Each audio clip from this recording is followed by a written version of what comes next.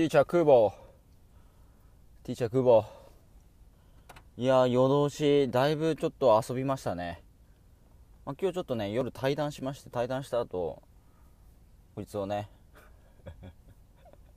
走らせてました夜な夜な。夜な夜な。今日はちょっと車中泊ですね。いややっぱね出ますね。あのね久保さんこれめちゃくちゃいいんですけど全然違うんですよ。それだ。あるか？これはねマジでいいっすよ。まあちょっとねもうキットないと思うんであれですけど。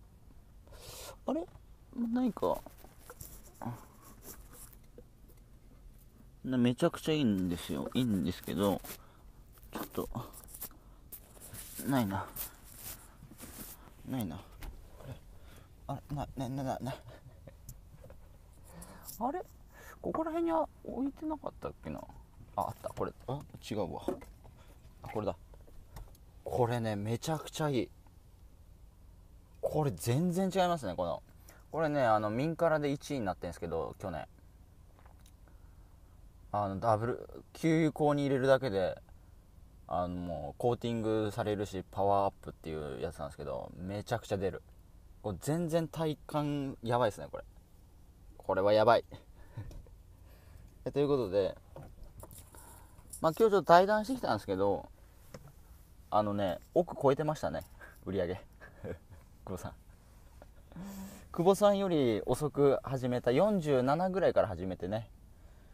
そう奥越えですよ。で8月ぐらいにベンツの700万新車納車されるみたいですからね。8月9月 ,9 月か。まあ、これも動画撮ってきますからね。僕が買った買ったぞスクショですね。僕のちっちゃく僕のじゃありませんっていうね。ベンツを買いました。700万。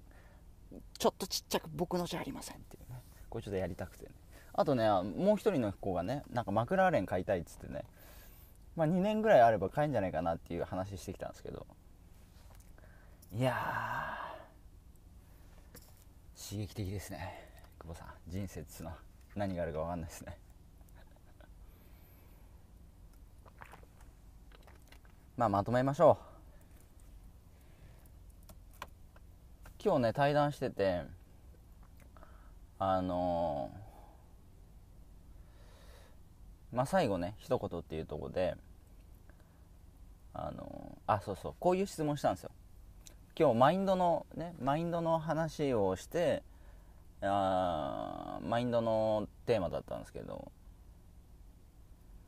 あのなんだその記憶がなくなるとしてマインドセットをねマインドセットを一つだけ持ってっていいと。残していいと。全部記憶なくなると。でマインドセット一つだけね残すとしたら何残しますか？たった一つですみたいなね。でその熟成さんが言ったのがあの量からしか質生まれないっていうね。これですね。量からしか質生まれないっていう。もうこれですよ。もうこれしかない。まあ久保さんもねサブチャンネルでねまあ動画もう100本超えですか？あれですけど。まあやるしかないですよ。てかやった方がいいと思うんですよね。まあその残るじゃないですか。まあその舞台俳優やるかどうかわかんないけどもまあ喋るっていうことはうーん僕ね超大事だと思うんですよね。喋れるか喋れないかって。うん。なんかその使えますよね。てか人間って他の動物と違ってこの言語を喋れるっていうのが一つ大きな武器なわけじゃないですか。喋れるっていうのはすごい武器だと思うんですよね。だからまああのまあいろいろ話してましたけどね。そう。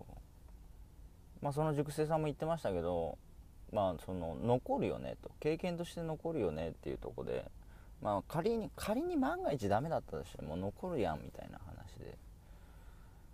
まあみんなそのなんだあまあ、やらない理由を言って。ね。ね久保さんね。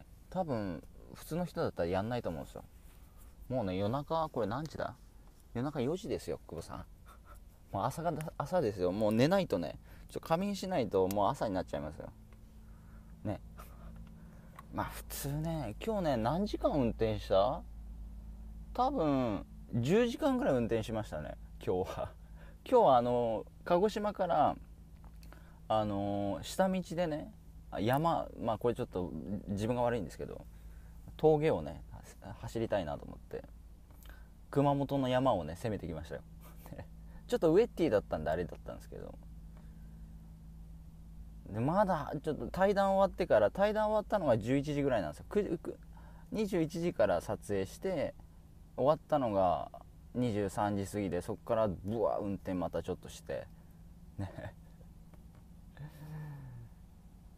4, 4時ですね。4時。いやでも出るねこれね。出ますよ。まあ普通はやんないですね。こっから久保さんここれで動画撮んないでしょ？多分。動画撮んないなあまだねいけるまだ動画なると。しゃべることはできますからもうちょっとね集中力切れたんで運転はちょっと危ないんでやめときますけどまあ喋れることは喋れるんでね朝起きてね多分バキバキだと思うんですよ肩。結構集中したんで。なんで朝起きて久保さんのね久保さんの久保さんこれ何時だ？2時半っすか？もう起きてんですかね？僕寝ますけどさすがに、うん。